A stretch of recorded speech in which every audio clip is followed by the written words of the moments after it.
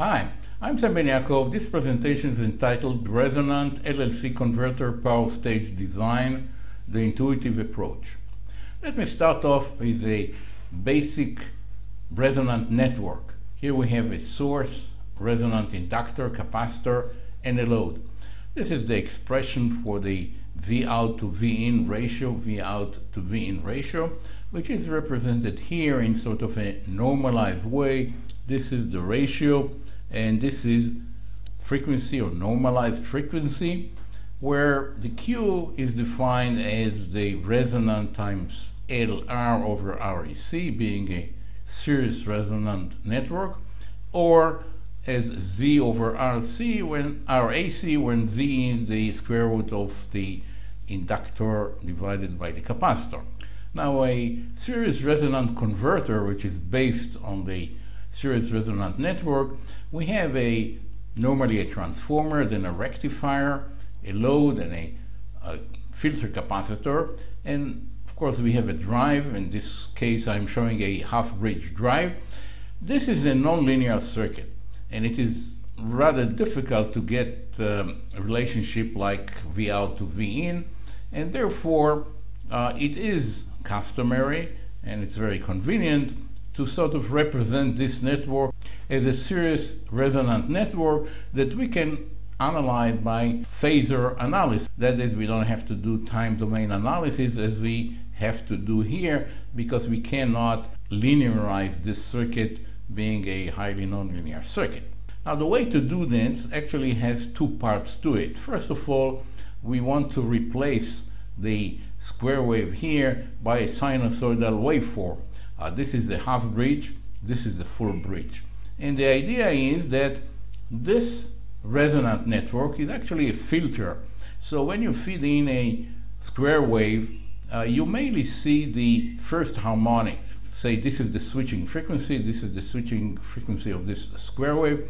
And so you're actually feeding here the square wave, and the current will be pretty much like a sinusoidal current, depending, of course, on the Q. Uh, for very low Q, it will not be the case, but usually I'll run uh, these converter at fairly high Q, not too high though, and uh, therefore uh, you'll see the first harmonics, the major harmonics, but then the higher harmonics, this is like the breakdown, uh, general representation of the breakdown of the harmonics of the square wave, like the third, fifth, etc., would be pretty far away, so you're gonna, not going to see it. So the first step would be to replace the square wave that we have here by the first component, the first harmonics.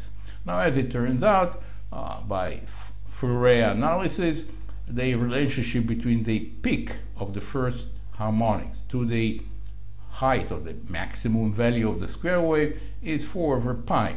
So this is the first step. This is for a full bridge, and if we have a half bridge, we have only half the value, so we have to divide it by 2. So this takes care of this sinusoidal waveform that now we can replace the square wave by this source, and this would be the relationship between the square wave and the sinusoidal source. Now what about the resistor? It was shown by Professor Steigerwald that uh, one way to do it is really to equate power dissipation. That is, if we have a nonlinear circuit like this, this would be like the resonant converter. We assume that there is a sinusoidal current here coming from the converter for the reason I've already said. This is rectified. We got this rectified current and the average of this rectified current goes into the load. Now equating the power means that if I have this equivalent circuit, I'd like the power dissipated by this linear resistor now, the equivalent RAC resistor, this power to be equal to the power dissipated by this DC resistor. So we have the relationship between the DC current here and the peak value of the sinusoidal current at the input. And since power is I square over RL, this is for the DC here. And the same thing goes for the AC, and we have already the relationship between the AC and DC, uh, it comes out that the RAC is 8 over pi square RL. It's about 0.8. That is, you can replace this whole thing by a linear representation, RAC being 8 over pi square this resistor. Now, there's also, of course, a relationship between the voltage that you'll find here, the DC voltage, and the voltage that you'll find here. And here is the relationship. Again, I'm doing it by equating the power. The power here is V square of DC over RL. The power here is V AC over square over RAC. And by equating these two, we get this relationship that the voltage, the AC voltage, this will be RMS voltage, here is related to the DC voltage here by about uh, 0.9. Now, in many cases, we would have a transformer, so we have to reflect the AC calculated, say, secondary to the primary, and of course the reflection is done by multiplying it by n square n being the ratio between primary and secondary.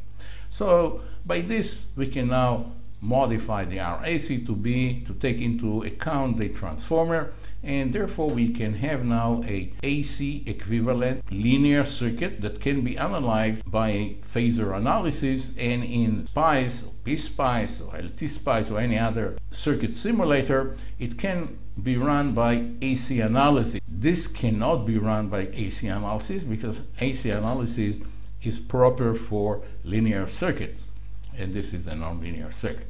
So now let's go back to the converter itself. This is again a series resonant converter and one thing we have to worry about is the gain we can get. And the reason we need a gain is that normally we like to have a constant output and therefore if the input is changing then the ratio between input and output has to be controlled and this is of course done by the feedback such that when the voltage is deviating from the required value, uh, it will change the switching uh, frequency in this case so as to bring it back. So the first thing we have to worry about is the gain that we can get and let's say that we need the gain between 0.4 and 0.6 um, just arbitrarily as an example.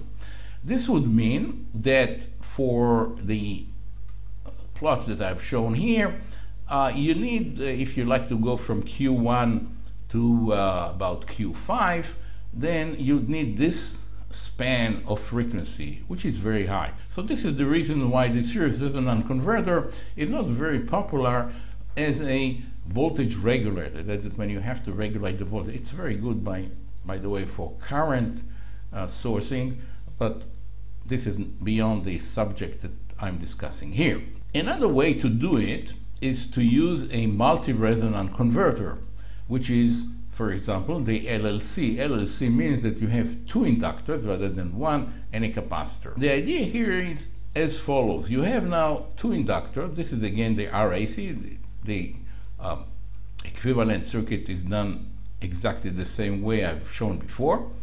And um, in this case, we have two inductors. If RAC here is smaller, much smaller than the impedance of this LM at the operating point or near the resonant you might say, then the impedance of L sub m doesn't play any role and you have actually a series resonant converter. And this will be the resonant frequency. And the Q for this circuit you can define it as the omega r this uh, omega r by these two elements and RAC. However, if RAC is much larger than omega LM, then LM of course will play a role here, and if LM is larger than LR, uh, you can sort of neglect first approximation LR, and you see that you have now a parallel circuit here, parallel resonant circuit here. The frequency again will be 1 over 2 pi, now LMCR, and of course the this frequency turns out to be at a lower frequency than the frequency we have seen before. So the idea here is shown here as follows. We have the one resonant, this is the parallel resonant, and then we have a series resonant. So this sort of expands the gain. So we are adding gain here even when the gain for the parallel resonant is going down or for the uh, series resonance we are adding gain when this gain is going down. So by this we are sort of flattening out the response and indeed if you look now at the response of the LLC resonant network, here it is, this is the L sub r, C sub r, and L sub m, uh, you see that you got a fairly nice behavior here. It's not going down to ground as, as before, to zero level, or very low level as before. It sort of flattens out. There's also a very interesting point here that all the Q, the gain is about constant. So this is, by the way, a plot for a normalized circuit. That is, this, the frequency is one hertz, and also Z is 1, that is the characteristic impedance 1 for Q e equal to 1. So for C sub R, which is 1 over 2 pi, which is about 0.16, and same thing for L sub R, you get a frequency of 1, resonant frequency of 1. I'm here using a ratio between LR and LM of 6. Okay, LM is larger than LR for signal. I'll talk about it in a second. Aside from the fact that we are getting a flattened response here, we also see here that very interesting that in this region, let me go over here, in this region, uh, we have a phase lag. This would mean that this circuit uh, would have a zero voltage switching for uh, the switches when operated as a converter, either half bridge or full bridge, because then the current is lagging, so you'll have the diode conducting, and therefore this is a very nice area to work in. So we see from this normalized network that we get fairly nice gain behavior and we get also phase lag so we have zero voltage switching and this is why the LLC is becoming uh, very popular today. Now the question is what about the ratio of LM to LR and I'm here showing different ratios so the same curves as before except this is for 6 3 and 12, much different ratios. And if I zoom on it, I see that in the case of, say, 3, we get very high gain. Let me go back here. You get very high gains. High gains, high Qs means that the reactive energy in the capacitor and inductor is going to be large. High Q means high reactive energy, which means that these elements will be fairly uh, large size. On the other hand, if the ratio is very large, then you see that we don't get much gain. And uh, of course, then we'll have to go to very low frequencies in order, I mean, relatively low frequencies compared to this resonant frequency in order to get uh, the gain that we might need. So it turns out that around 6 LM to LR, it's kind of an optimum ratio, and this is why many, many designs are based on this uh, range, it'll be like between say 5 and 7, uh, will be the favorable range for this ratio. So let's have a look, a closer look now at this response. What we see here again, this is frequency, this is gain, these are Q values which correspond of course to resistances. The way it is defined, let me go back for a second. For historical reasons, the Q of this circuit has been defined as omega r, which is the resonant, the series resonance over RAC. Okay, so this is the way Q is defined normally. You can also, of course, define the Q on the basis of the parallel resonance, be a different story.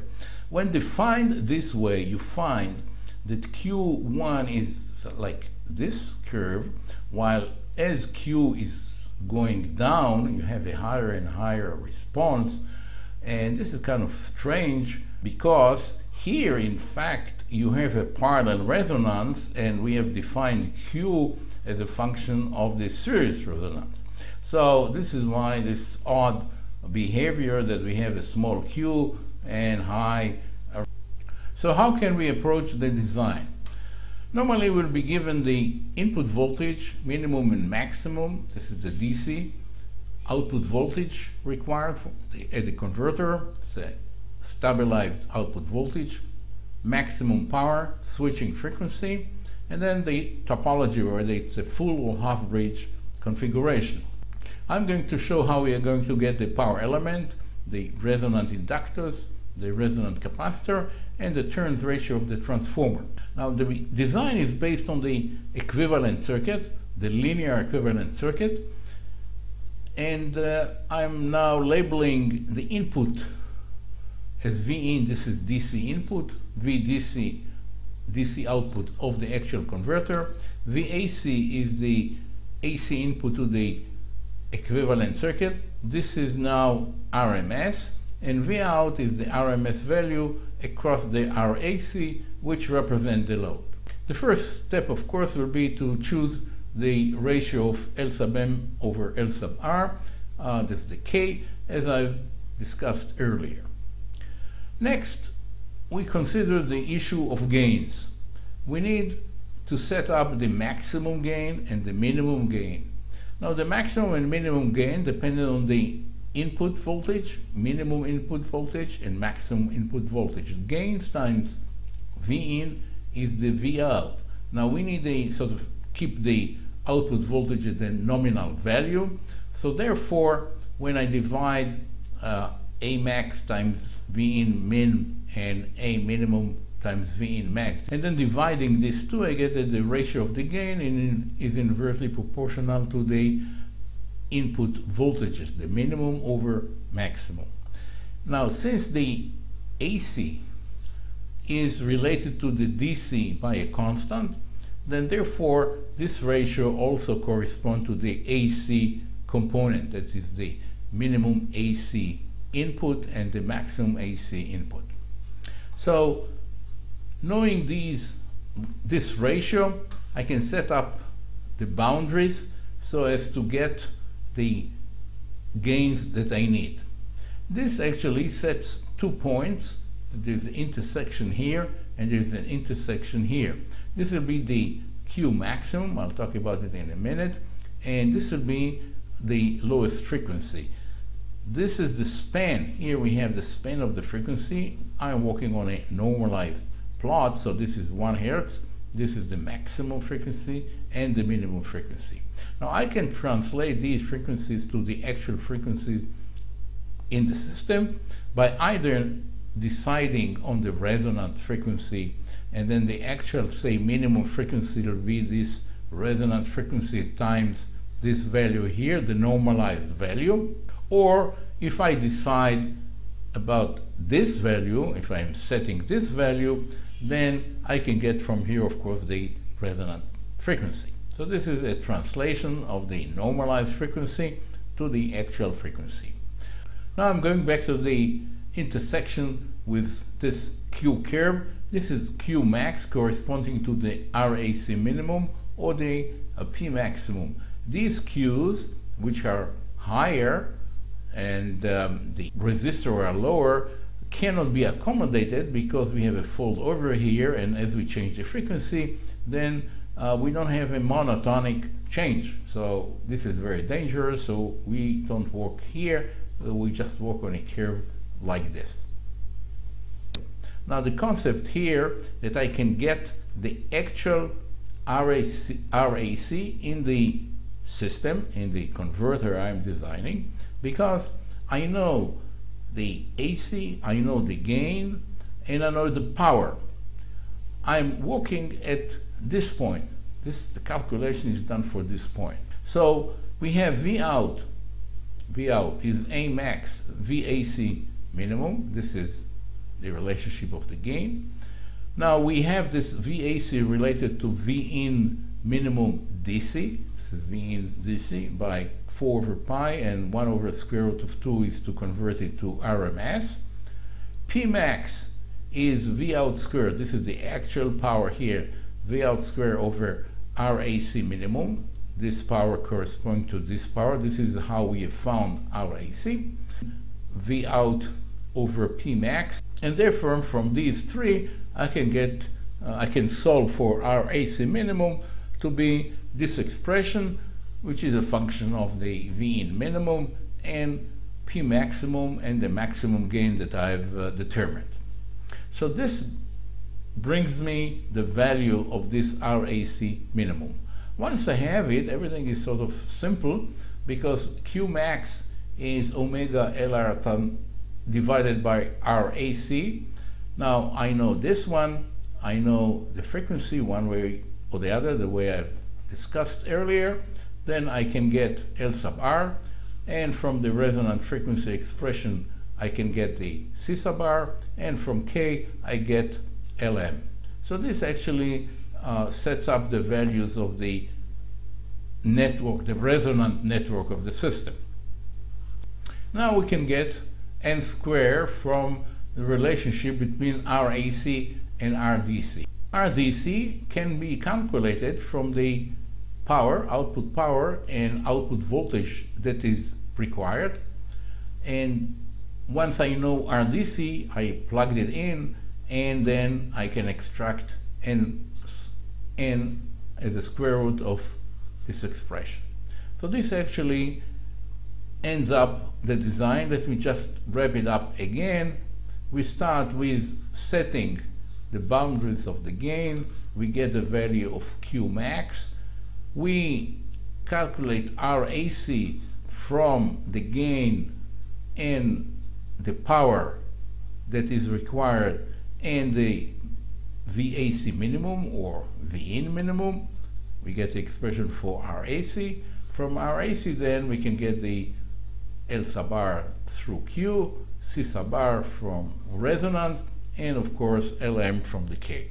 And finally, n square is obtained from this relationship. RDC is obtained from the power at the output, and therefore we got n as this expression.